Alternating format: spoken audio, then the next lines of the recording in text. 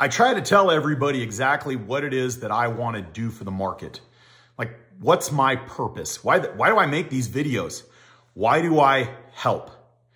And I realize that a lot of people think, and, and some of it is me sitting in my living room and recording videos.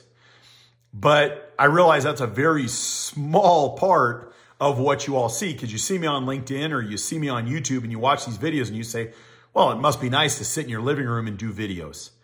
Um, I go out to job sites. I go to construction sites. I go out to um, rental yards. I go to rental companies and I do boots on the ground.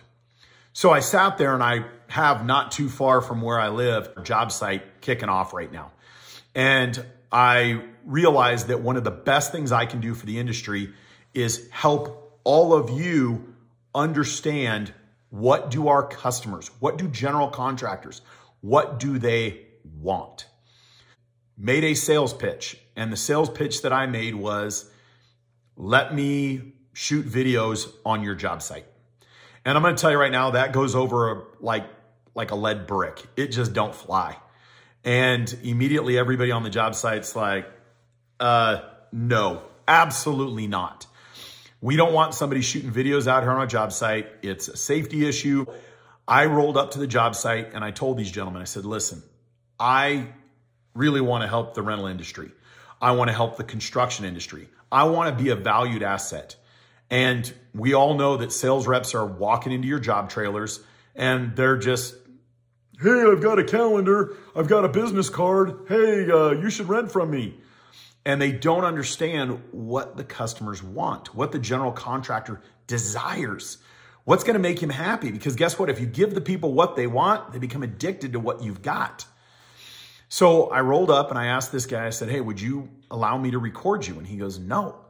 And I said, we need to help the industry. We need to help sales reps. We need to help your job site. You need sales reps, even though they're frustrating as hell sometimes. He goes, you're right. He goes, do me a favor, come back in an hour. Um, I've got some time then and we get one take. He goes, I'm not doing a 30, I, I don't have time for that. He says, but I understand what you're doing and I want to help sales reps. Uh, you have no idea how grateful I am. So this is the video that he let me record in his job trailer. And I want you to hear it. He and I, I, I literally, kind of a fact, he agreed to it and I, I did a terrible thing. I didn't even memorize his name, um, which is a terrible thing to do is I literally walked in and he saw the value that I brought and we weren't even on a first name basis. I don't know this guy. He doesn't know me. And here's what he said. Listen closely. Oh, hey, today I have the luxury of being out at a multi-million dollar job site um, the senior superintendent was willing to give me time. And I'm going to tell you right now, it's the most valuable thing on a job site is time and money. But he understands the value of a sales rep, but he's tired of people coming in here and not giving him what he needs.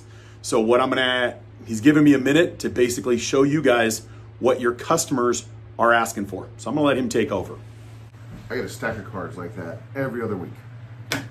Service. I don't care what it costs. If it's within 10% and you can get it to me the next day, I will use your company forever. And when you come to my office, make time. Don't just wander in. Make an appointment. Say, hey, can I come back at this time and this day? And then bring goodies or coffee because we run on caffeine, sorry, caffeine, nicotine, and hatred most of the time. So you're gonna set an appointment. You're gonna provide good service. You're gonna get used over and over again. If you can be within 10%, I'll eat the 10% to get stuff the next day. There you go. So I appreciate the fact that he's willing to give us five minutes do me a favor, listen to what he says, add value, and don't just be an on a job site, be an asset. Have a great day. I need you to make sure that you're helping job sites run faster, safer, and more efficient, and listen to him. One of the key things he said, make an appointment. That's my rule number one, make an appointment.